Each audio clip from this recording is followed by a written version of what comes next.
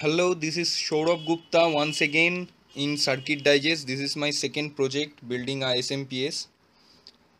Uh, this is a 5 volt 2 ampere SMPS that is uh, 10 watt. Here is the testing uh, setup, my testing setup.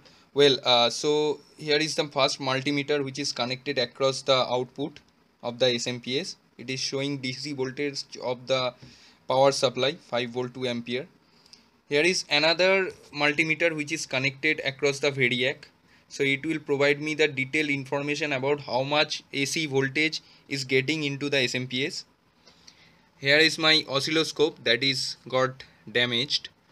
I have connected my laptop. So it will show the output from the oscilloscope. Here is the load. The load is connected with my bench power supply that is powered using a 9.5 volt and it is getting the input from the SMPS so let's start the SMPS and see what what is happening. Uh, let's increase the AC voltage.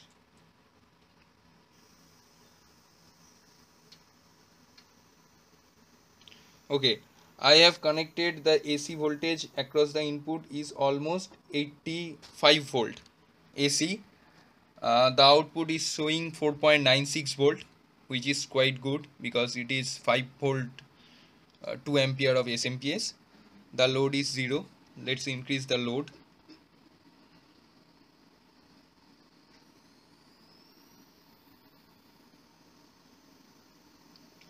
This is the full load 2 ampere of load.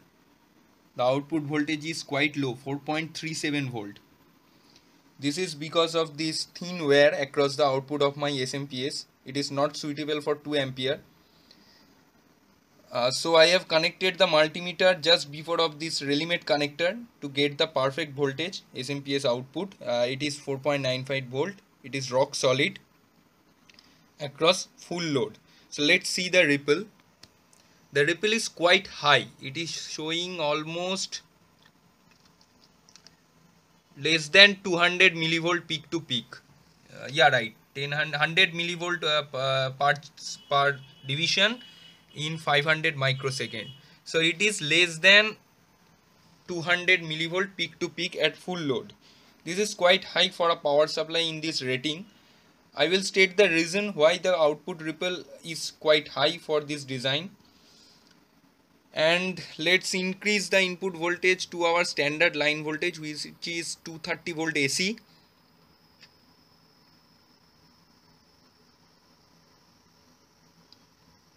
yeah it is 230 volt AC the output is 4.95 volt. Again it's uh, static it's solid. Uh, it was not fluctuating. It is not fluctuating. Yeah uh, so uh, here is 2 ampere 4.46 volt standard load. And the ripple is increased due to the increase of the input voltage AC it is almost 200 millivolt peak to peak now. So what is the reason behind the high output ripple across the output? This is because of two factor. One is the PCB poor PCB designing because it is not a PCB proper PCB it is a Vero board Vero is not suitable for SMPS designing just because of the improper ground plane. It will induce noises it will induce uh, ripples across the output for ground bounce issue. And the second thing is this one the transformer. This is a handmade transformer. I have made this using uh, normal duct tape and all scissor everything okay uh, this is the transformer. I have used my previous tutorial previous article. Uh, it is completely machine made varnished but this is not. Even the output is not accurate because it is handmade. The detailed information about how this this is built is available on the website another thing to be considered that is the power driver and the output Schottky diode. These two are two will get uh, very high when the output output is almost 2 ampere. So it these two needs heat dissipation across the PCB plane. But since it is not a PCB the PCB plane is improper. If we just see the bottom I have made a small PCB heatsink using normal solders and all.